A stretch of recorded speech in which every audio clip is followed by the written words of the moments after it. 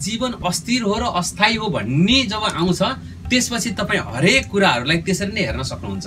तपाईँलाई चाहिँ यहाँ आएर राम्रो उपलब्धि हो भने ए म धेरै किन एक्साइटेड हुनु? यो चाहिँ टरेर जान्छ। अब दुःख पर्यो भने पनि दुःख नमान्न यो सर गइहाल्छ नि। फेरि अर्को नयाँ घटना आउँछ नयाँ परिवेश आउँछ भनेर। ल तपाईँ सम्झिनुहोस् न कोही मान्छे आज बित्यो होइन दिवङ्गत भयो भने। तपाईँ यो दिवङ्गत भएको मान्छे चाहिँ तपाईँको भोलिसम्म ए फलानु मरेछ भन्ने हुन्छ। पर्सिदेखि ए है हिजो मरेको थियो भन्ने हुन्छ। अनि निकोर्सिएदेखि अनि त्यो बिर्सिन्छ बिर्सिँदै जान्छ। होइन? भनेपछि तपाईँको हरेक घटनाहरू चाहिँ एउटा समयसम्म मात्रै स्थिर हुन्छ त्यसपछि सकिएर जान्छ। नदीमा तपाईँले त तलाउमा तपाईँले ढुङ्गा फ्याँक्नुहोस् त्यो तरङ्ग एकछिन जान्छ एकछिनपछि सकिएर जान्छ। भनेपछि तपाईँ जिन्दगीको एउटा अवसरमा हामी त यो जीवन के हो भने अनन्त यात्रामा छौँ। जन्मभन्दा अगाडि पनि हाम्रो ऊर्जा थियो। कुनै अवस्थामा हामी अर्कै स्वरूपमा थियौँ। जन्मियौँ मानव भयौँ अहिले कोरियामा छौँ। अब यस पछाडि पनि के भनेदेखि हामी मृत्यु पछाडि पनि कुनै ऊर्जामा हामी जान्छौँ। र संसारका धर्मशास्त्र फिलोसफीले पनि के प्रुभ गरेको छ भने मान्छे भनेको एनर्जीको ग्रुप हो। र energy never destroyed never created. ऊर्जालाई कहिले पनि सिर्जना गर्न सकिँदैन कहिले पनि डिस्ट्रोय गर्न सकिँदैन। र अब तपाईँको संस्कृतमै भनिएको भागवत गीताको कुरा हेर्ने हो भने नैनम छिन्नन्ति शस्त्राणी नैनम दहति पावक नचैनम क्लेदयन्त्यापो नसो सयति मारुत। भनेको हावाले तपाईँलाई चाहिँ कुनै पनि हतियारले केहीले पनि यो शरीर आत्मालाई विनाश गर्न सक्दैन। भनेपछि हामी अझर अमर हौँ। र हामी हाम्रो यात्रा पहिला पनि थियो पछि पनि हुनेछ। र अहिले चाहिँ ह्युमन फर्ममा यात्रा भइरहेको छ। ह्युमन फर्मको यात्रामा पनि तपाईँ जति वर्षको उमेरको हुनुभयो त्यो उमेरको आजको दिनमा हुनुहुन्छ तपाईँ होइन? र यो आजको दिन टरेर जान्छ जसरी हिजो गएको थियो। तपाईँहरू सबै बिचमा चाहिँ एउटा बाल्य अवस्था थियो कुनै दिन होइन? आज बाल्य अवस्था छैन कहाँ गयो त त्यो? अब कुनै दिन तपाईँ कुमार अवस्था हुनुहुन्थ्यो भनौँ न टिनेजर हुनुहुन्थ्यो त्यो पनि छैन। भनेपछि यो अवस्था पनि टरेर जान्छ। फर्स्ट थिङ जहिले पनि हामीले के सम्झ्यौँ भने जीवन अस्थिर छ भनेर सम्झ्यौँ तपाईँले बुद्धको विपස්සना मेडिटेसन गर्नुभएको छ नभए पनि सुन्नु भएको छ भने पनि त्यसको के हो भने सार जिन्दगी क्षणभङ्गुर छ। भनेर हरेक कुरालाई त्यसमा लिएर गयौँ भने नम्बर वान हामीले एउटा गर्न सक्यौँ। अब अर्को कुरा के भनेदेखि हामी यहाँ आएका छौँ र हामीले के गर्नु पर्यो भने मान्छे हामी कामको लागि दास बनेर बाँच्नको लागि आएको होइन। हामी अनन्य क्षमता भएको मान्छेहरू। आइन्स्टाइनले के भनेका छन्? भनेदेखि मानिस हामीसँग भएको क्षमताको मुस्किलले तिन प्रतिशत मात्रै प्रयोग गर्छन् जीवनभरमा। र बाँकी चाहिँ हाम्रो वेस्टेज जान्छ भनेर भनिएको थियो। अनि हामी चाहिँ के छौँ? अहिले चाहिँ यो पुँजीवाद अथवा यो चाहिँ के गरिएको छ कन्ज्युमर सिस्टमले भने तपाईँलाई पेस्कन कमाऊ खर्च गर अनि तपाईँ कामको दास बन अनि त्यस पछाडि त- तपाईँ चाहिँ त्यो पैसाको लागि मात्रै भाग यस्तो संरचना बनाइदिएको छ। तपाईँले एउटा मोबाइल किन्नुभयो भने यसपालि चाहिँ मोबाइल किन्नुभयो र एउटा नोट तपाईँको अब एस सिक्स आयो होइन? अब अर्को अर्को उनीहरूले तुरन्त अर्को ब्रान्ड निकालिदिन्छ अनि तपाईँलाई के हुन्छ भने ओहो साथीले त किनेछ भन्ने हुन्छ अनि तपाईँ किन्न थाल्नुहुन्छ। जब तपाईँ वस्तुहरूको सङ्ग्रह गर्नलाई धेरै खर्च गर्नुहुन्छ त्यसपछि के हुन्छ तपाईँको? धेरै खर्च गरेपछि तपाईँले धेरै कमाउनु पर्यो। धेरै कमाएपछि तपाईँको कतिखेर तपाईँले पढ्ने कतिखेर तपाईँले आफ्नो ज्ञानको बारेमा चर्चा गर्ने जिन्दगीको अमूल्य क्षणको बारेमा कसरी पत्ता लगाउने तपाईँले अनि आफ्नो के को लागि म संसारमा आएको भन्ने कुरै थाहा नपाइकन हामी बितेर जान्छौँ। र त्यस कारणले हाम्रो जिन्दगीमा तिनवटा दिन महत्त्वपूर्ण हुन्छ। के के दिन? एउटा मान्छेको जन्मको दिन अर्को मृत्युको दिन र अर्को सबैभन्दा ठुलो कुरो के भनेदेखि हामी किन जन्मिएको भनेर थाहा पाएको दिन हो। र धेरै मान्छेहरू तेस्रो दिन थाहै नपाइकन मर्छन्। हामी किन जन्मिएको हो भन्ने थाहै नपाइकन होइन? र त्यो कुरो थाहा पाउनु र हामीले चाहिँ जिन्दगी के हो भनेर थाहा पाइसकेपछि चाहिँ अनि अरू कुराहरू सामान्य हुँदै जान्छ। एउटा कुरा म तपाईँहरूलाई गर्छु। जस्तो चाहिँ यो जर्मनीमा चाहिँ हिटलर भनेर सुन्नुभएको छ तपाईँहरूले होइन? हिटलरको समयमा चाहिँ लाखौँ लाख यहुदीहरूलाई चाहिँ जेलभित्र हालिएको थियो प्रिजनभित्र। र प्रिजनभित्र हालेर उनीहरूलाई चाहिँ त्यही मार्नको लागि तयार गरिएको हरेक कष्ट दिएको यातना दिएको त्यो गरेपछि दिनमा सयौँजना मान्छेले आत्महत्या गर्थे। एकजनाले होइन दुईजनाले होइन सयौँले चाहिँ आत्महत्या गर्थे भन्ने चाहिँ हिस्ट्रीमा पढ्न पाइन्छ।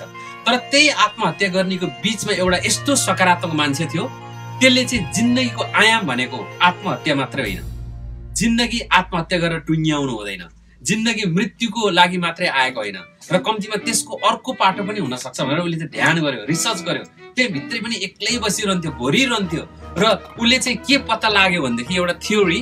र उसले चाहिँ यो जिन्दगी चाहिँ मानिसलाई समय परीक्षाको लागि आउँछ। हरेक घडी चाहिँ परीक्षा गरिरहेको छ तपाईँलाई। र तपाईँले मैले यो परीक्षामा नि पास हुन्छु भनेर सोच्नुभयो भने त्यो जिन्दगीले अर्को आयाम लिन्छ अर्को पाटो लिन्छ र तपाईँलाई यो भाग्यले यो समयले बाध्य पारेर तपाईँलाई चाहिँ राम्रो बाटोमा लिएर जान्छ। र त्यसपछि चाहिँ उनले के गरे भनेदेखि उनले एउटा नयाँ कुरा पत्ता लगाए आत्महत्या नै समस्याको समाधान होइन। तपाईँ तडपेरै मर्नुहुन्छ र तडपेरै तपाईँको आत्मा पनि तडपिरहेको छ र त्यो हिसाबले चाहिँ मैले चाहिँ यस्तो क्रिएट गर्छु कि यो वर्ल्डमा म चाहिँ बाहिर जान्छु र एउटा ठुलो मान्छे बन्न सक्छु। मलाई बाहिरको भाइबले केही गर्न सक्दैन। यो एउटा क्षणिक हो र यसलाई म हेरेर मात्रै बस्छु भनेर चाहिँ उनले चाहिँ त्यो अब्जर्भ गरे र गरिसकेपछि त्यो मान्छेलाई नभन्दा यो एनर्जीले तपाईँ जस्तो एनर्जीको कामना गर्नुहुन्छ नि त्यही आउँछ संसारमा। तपाईँले जस्तो कल्पना गर्नुहुन्छ त्यही बन्नुहुन्छ तपाईँ।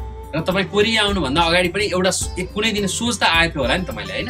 म कोरिया जान्छु भनेर। त्यही सोचले कुनै दिन बारीको पाटामा सोचेको सोच बाटोमा हिँड्दा हिँड्दै सोचेको सोच गुरु जोत्दा जोत्दै सोचेको सोचले तपाईँले कोरिया ल्यायो भने।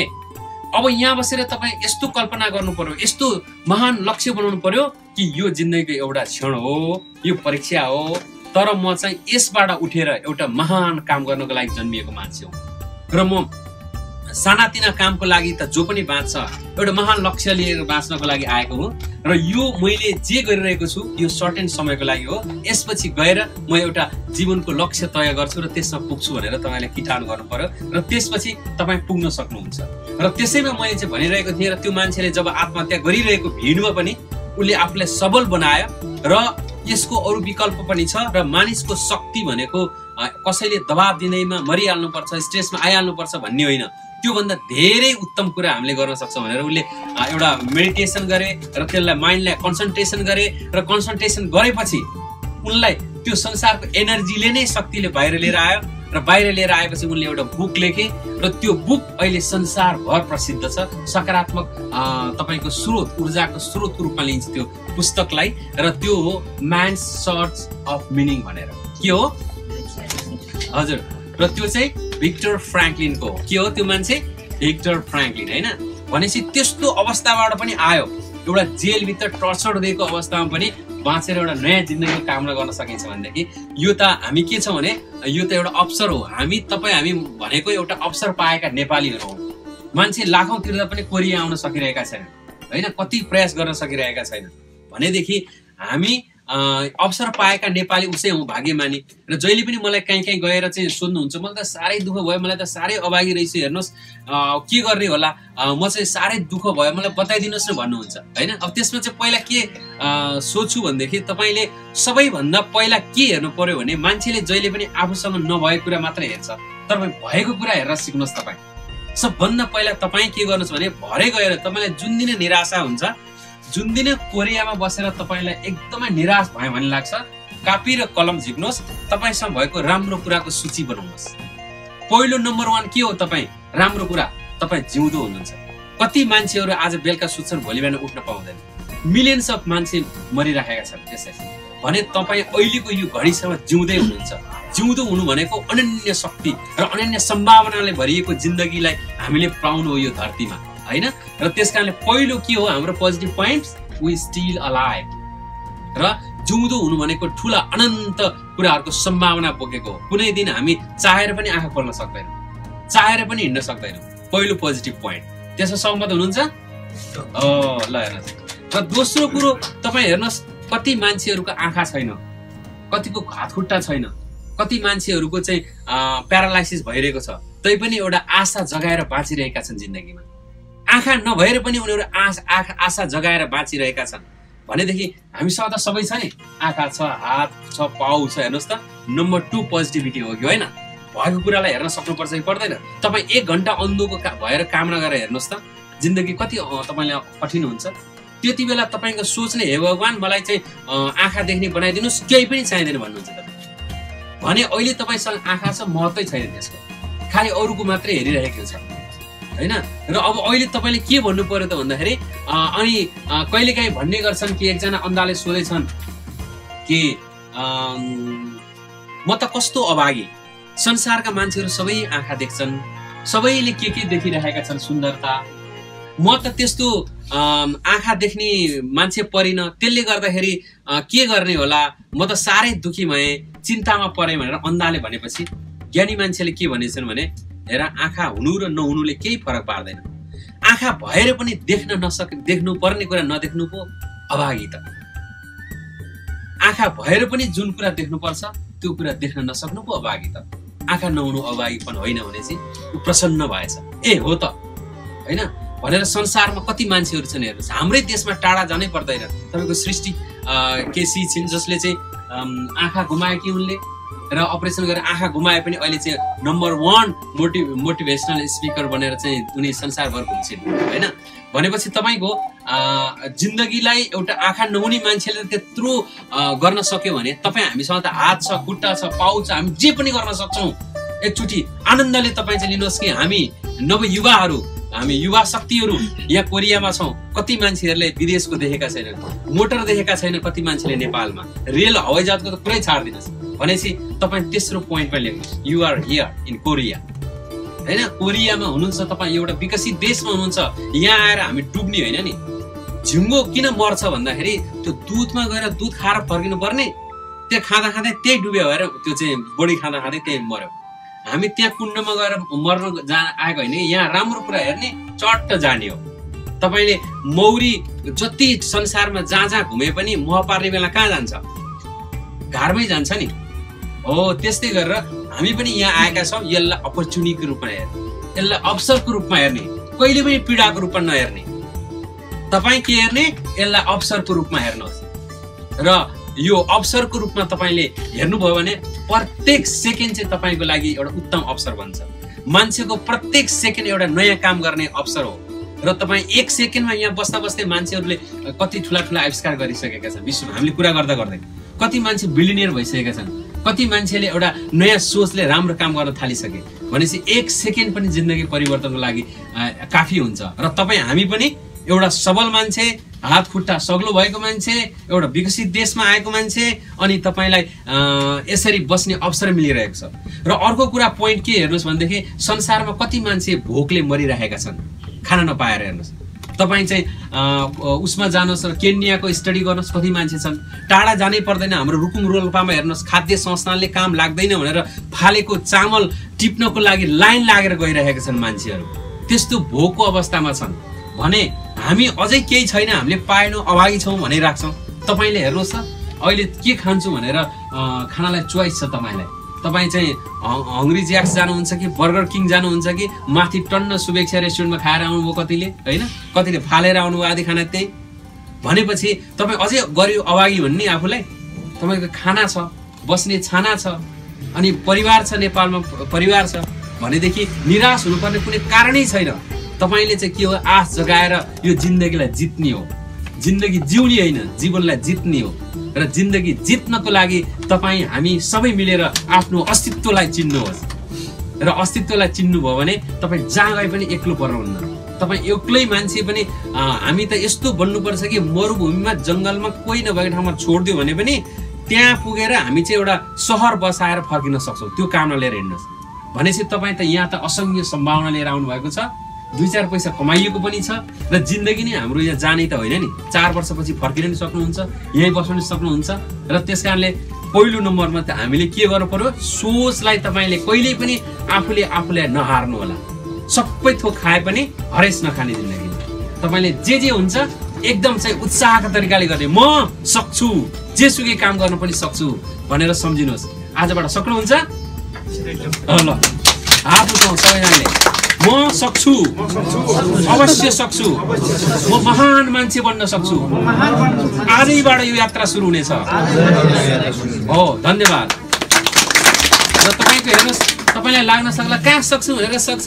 अरूले पो सक्छ मैले कहाँ सक्छ भन्ने लाग्यो होला मनमा अरू भनेको अरू भने पनि तपाईँ हामी जस्तै मान्छे हो। अरूले सक्छ भने तपाईँले सक्दैनन्। होइन? हामी जस्तै नाक आँख कान भएको मान्छे प्रधानमन्त्री भएको हामी जस्तै मान्छे विद्वान भएको हो। हामी जस्तै मान्छे चाहिँ ठुलो मान्छे भइरहेछ भने हामी पनि अवश्य सक्छौँ र त्यो सक्छु भन्ने भावना राखेर हिँड्नु पर्यो अवश्य सकिन्छ। किनभनेदेखि यो संसारमा पाइने प्रत्येक ढुङ्गालाई तपाईँले कुन्दु हो भने तिनीहरू मूर्ति बन्ने योग्यता राख्छन्। राख्छन् कि राख्दैनन्? हो। प्रत्येक ढुङ्गो मूर्ति बन्न सक्छ भने प्रत्येक मान्छे पनि महान बन्न सक्छ। त्यो क्षमता तपाईँमा छ। प्रत्येक काठलाई कुन्नु भने काठको के हुन्छ? औजार भन्छ होइन? तपाईँ उसमा जानुहोस् त। तपाईँको चितवनमा थारूहरूकै उसमा बस्तीमा जानुभयो भने कति राम्रोसँग काठको कला बनाइरहेको छ होइन? त्यस्तै गरेर हरेक ठाउँमा जानुहोस् हरेक काठको बन्छ भने मान्छे त अनन्य क्षमता भएको मान्छे। हात्ती त काममा लाग्न सक्छ। कहिले काहीँ लाग्न सक्छ तपाईँले अब म केही पनि भइएन न कलाकार भयो न पुस्तकाकार भइयो न चाहिँ नेता भइयो न अभिनेता भइयो सब बेकार भयो बेकारै बेकार भयो भने जस्तो लाग्ला। कहिले पनि नसम्झिनुहोस्। तपाईँ बेकार हुँदै होइन। तपाईँ कहिले पनि एकले हेरेर अर्कोलाई तुलना नगर्नुहोस्। हाम्रो दुःखको कारण के भन्दाखेरि पहिला तुलना गर्न मन लाग्छ। यसो हेरो साथीले "ए, राम्रो ज्याकेट किनेछ यार आफ्नो त छैन। भन्यो त्यहाँ दुःखी भइहाल्यो यार होइन? केही गर्नै पर्दैन। अनि यसो विचार गर्यो अनि यसो हेऱ्यो के मोबाइल छ तेरो। ए ब्रान्ड न्यू रहेछ यार। ओहो मेरो त छैन। भने दुःख भइगयो उसलाई। अनि अब तपाईँ कोही मान्छे चाहिँ राम्रो गाडी किन्यो भनेदेखि यहाँ त अब कम कमै होला होइन? अस्ट्रेलिया अमेरिकामा नेपालले के गर्यो भने यसो गाडी किनेर गाडी हेऱ्यो भनेदेखि ऊ बिरामी पर्न थालिहाल्छ। केही गर्नै पर्दैन। गाडी किनेछ यार भने है। अगाडि चाहिँ बधाई ल है राम्रो गर्छ भने पत्र फतर फतर भइसक्यो होइन? अब कहिले किन्ने होला आफूले? अब कहिले गर्ने होला आफूले? भन्ने चाहिँ त्यो भइसक्यो है केही गर्नै पर्दैन। अब कम्तीमा मान्छेको चाहिँ के छ भनेदेखि उसले चाहिँ तुलना गरेर कम हुने होइन क्या? जस्तो अब यहाँ कुनैले रेस्टुरेन्ट खोल्नु भएको छ भने एक त्यसले रेस्टुरेन्ट खोल्यो अरे है भनेर भनेपछि तपाईँ बिरामी हुने होइन क्या त्यो रेस्टुरेन्ट उसले खोल्यो भनेर? त्यसबाट त प्रशंसा सिक्ने ए एउटा नेपालीले कम्तीमा यस्तो राम्रो गरेछ है आहा भनेर खुसी हुने। अब दुःख पाउने पैसा तिर्ने ऋण बोक्ने ऊ छ होइन? अब हामी चाहिँ मजाले खुसी भइदिउँ न मोफतमा। हामीले तिर्नु पनि परेन। ओहो एउटा नेपालीले चाहिँ रेस्टुरेन्ट खोलेछ भनेर कति खुसी भइदिउँ र कसरी यसरी खुसी मान्न सकिन्छ? त्यस कारणले जहिले पनि हामीले के गर्ने? तुलना नगर्ने। तुलना गर्ने राम्रो कामको लागि प्रेरणा लिने। तर कहिले पनि अरूलाई हेरेर दुखी नहुने। तपाईँ हाम्रो कसैको पनि अनुहार मिल्दैन। मिल्छ त? मिल्दैन। तपाईँको दाजुभाइको त मिल्दैन भने हामी संसारका यति छ बिलियन मान्छे भन्दा बढी छ भने कसैको पनि अनुहार मिल्दैन कसैको पनि जिउ मिल्दैन। होइन?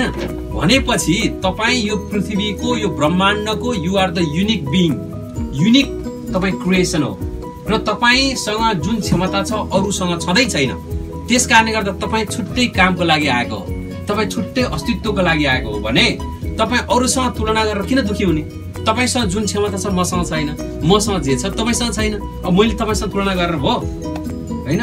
र अनि जसरी एउटा चाहिँ विद्युत व्यक्तिले भनेका थिए माछा र अनि बाँदरलाई तुलना गरेर माछुले दुःख हुने। ओहो बाँदर त रुख चढाउँदो रहेछ भनेर माछु दुःखी हुने। अथवा चाहिँ माछु पौडी खेल्न जान्दो रहेछ भनेर बाँदर दुःखी हुने। आफ्नै क्षमता छ नि तपाईँको आफ्नै छ उहाँको आफ्नै छ। त्यो भित्रको प्रतिभालाई चिन्नु पर्यो। र आजको सारमा के भन्दाखेरि हरेक मान्छे महान बन्न सक्छ। तपाईँ पनि महान बन्न सक्नुहुन्छ। र तपाईँले के गरी महान बन्ने त भन्दा तपाईँभित्र के प्रतिभा छ त्यो चिन्नु पर्यो। होइन? कसरी थाहा पाउने त प्रतिभा होइन अहिले त हामी एउटै कुरामा छौँ तर प्रतिभा थाहा पाउनु पर्यो। के प्रतिभा हो भनेर? कोही मान्छे गिटारिस्ट हुनुहुन्छ तपाईँले हरेक क्षेत्रमा तपाईँले प्रोफेसरै बन्नुपर्छ बिजनेसम्यान नै बन्नुपर्छ भन्ने छैन। तपाईँ गिटार बजाउने दिनमा जो प्रोफेसर ल्याए पनि बजाउन सक्दैन। जुनसुकै बिजनेसम्यान ल्याए पनि बजाउन सक्दैन। उही चाहिन्छ नि। हो त्यस्तै गरेर तपाईँ कुनै एउटा विषयमा अध्ययन गर्न रिसर्च गर्न चाहनुहुन्छ भने त्यो गर्न सक्नुहुन्छ। तपाईँ गायनमा राम्रो भने गाउनुहोस् आर्टमा राम्रो भने आर्टमा गर्नुहोस् केही पनि गर्न सक्नु भएछ भने केही छैन। आत्मसन्तुष्टि लिएर एउटा आदर्श जीवन बिताउनुहोस्। कति पहिला लाग्ला म पढे लेखा पनि छैन किताब लेख्न नै सकिनँ भनेर केही फरक पर्दैन। तपाईँले किताब लेख्नु यो गर्नु त्यो गर्नु नै ठुलो कुरो होइन। सबभन्दा ठुलो कुरो नै के हो? तपाईँ चाहिँ आफूलाई सन्तोष लिएर बस्नु हो। आइन्स्टाइनलाई सोधिएको थियो कि उनी अन्तिम समयमा बित्ने बेलामा ओहो तपाईँ त यस्तो चर्चित मान्छे बन्नुभयो। यत्रो सारा मान्छेले हाई गर्छन्। तपाईँ अर्को जन्ममा जन्मिनु पर्यो भने के बन्न मन लाग्छ तपाईँलाई? के गर्ने त तपाईँलाई? भन्दाखेरि चाहिँ उसलाई चाहिँ भनेको थियो उनले चाहिँ "अँ, मलाई त एकदमै सर्वसाधारण बन्न मन लागेको छ भनेर। किन त भन्दा मान्छेहरूले हैरान पारिसक्यो क्या। यहाँ गयो भने ओहो ओहो ओहो भन्छ उहाँ गयो भने ओहो ओहो ओहो भन्छ ओहो ओहो ओहो आफ्नो प्राइभेट लाइफै छैन।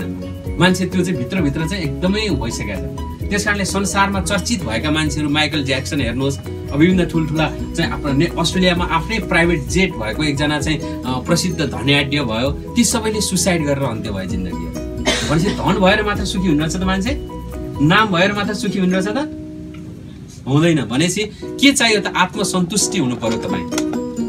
मन चङ्गा त लोटामा गङ्गा। मन चङ्गा गर्नु भने जिन्दगी यही महान छ तपाईँहरूको लागि। जहाँ जो छौँ त्यही परिस्थितिलाई सुखी भएर एक्सेप्ट गर्नु।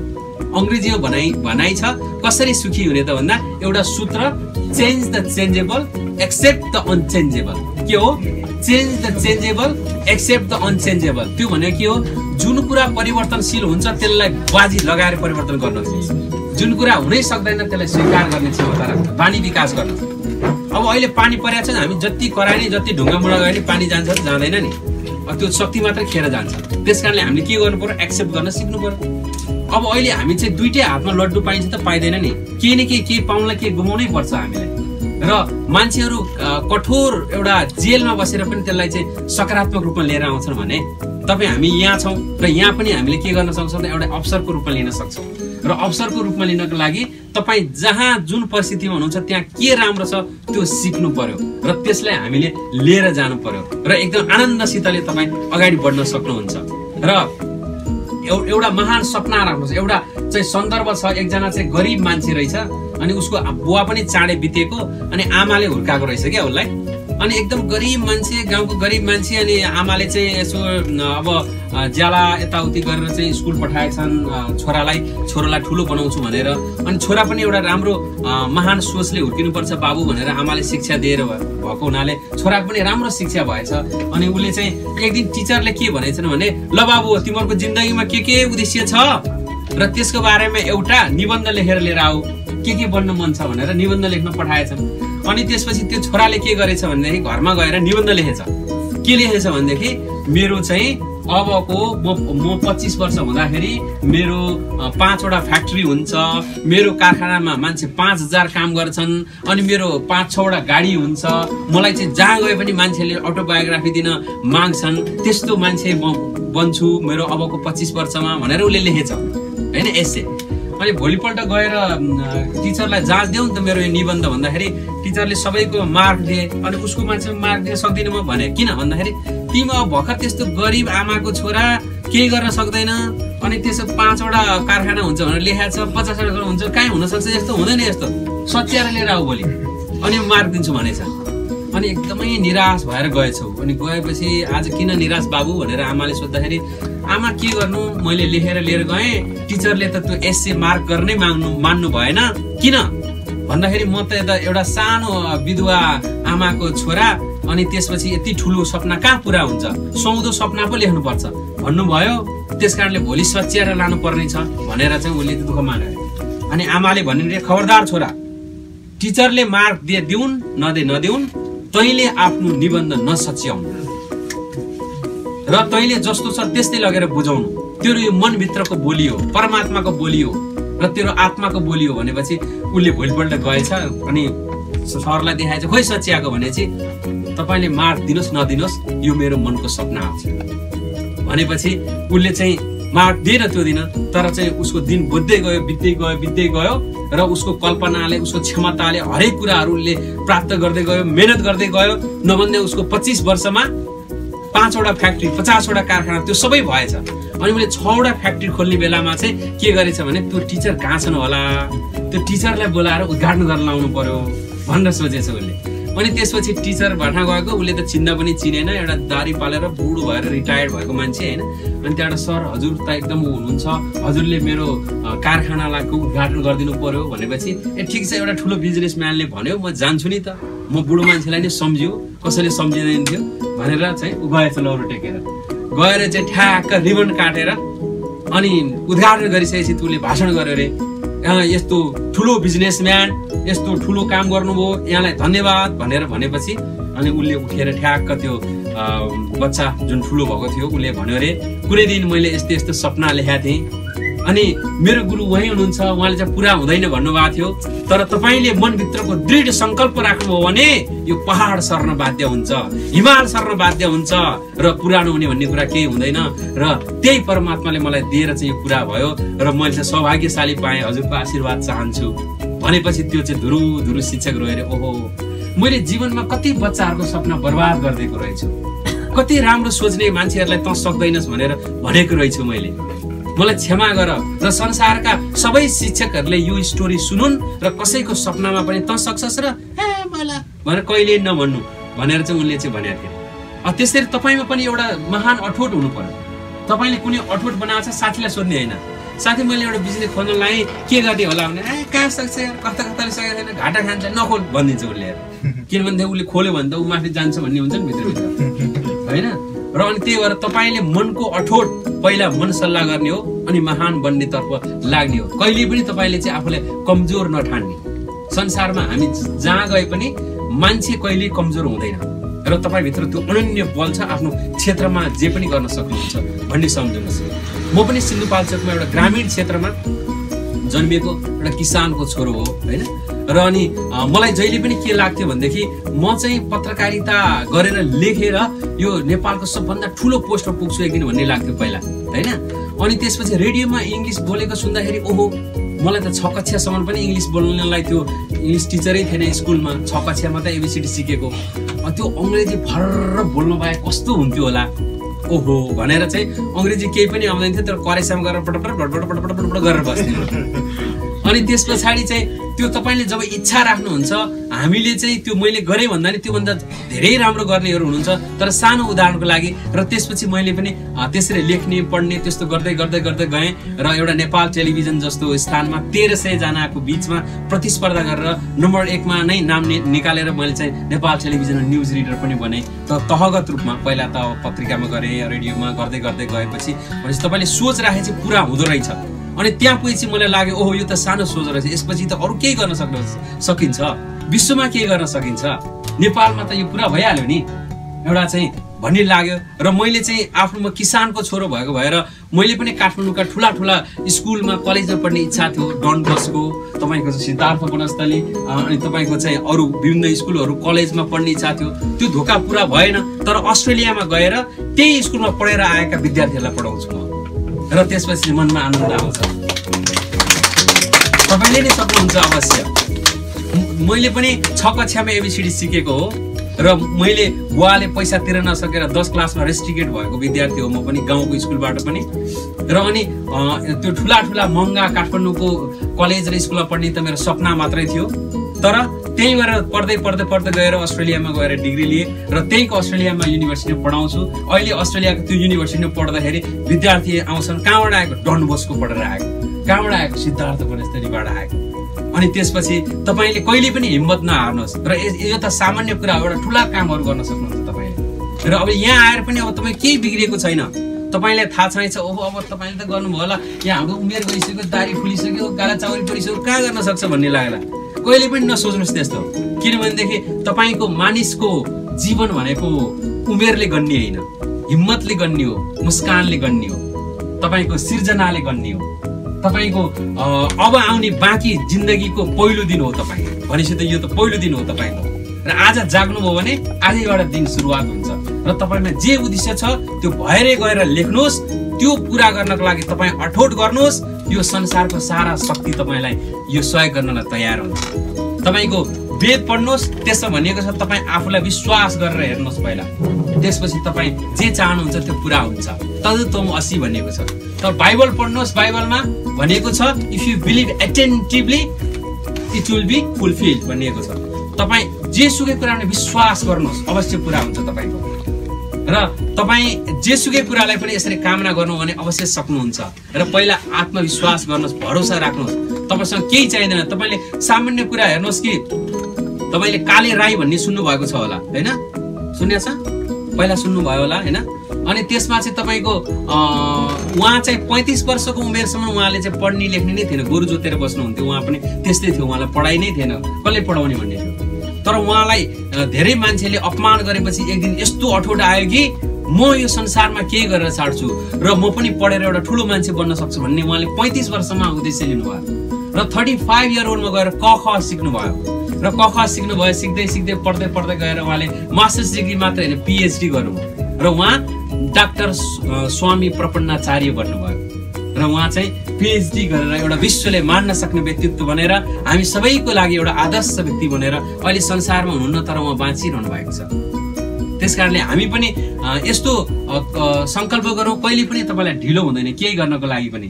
कहिले पनि हामी हरेस खाने होइन हामी मर्नको लागि आएको होइन हामी आत्महत्या गर्ने त कमजोर मान्छेहरू हो कमजोरको लागि गर्न आएको होइन। तपाईँ त्यो दिन सोच्नुहोस् कि मसँग के क्षमता छैन। एउटा भएन भने अर्कोतर्फ जाने। एउटा बाटोबाट भयो भने अर्को बाटोबाट जाने। तपाईँ थोमस एल्वा एड एडिसनको कुरा सुन्नुभयो भने उनले चाहिँ कति पटकसम्म फेल भए एउटा कुरामा। कसैले भन्न सक्नुहुन्छ कतिचोटि फेल भए? नाइन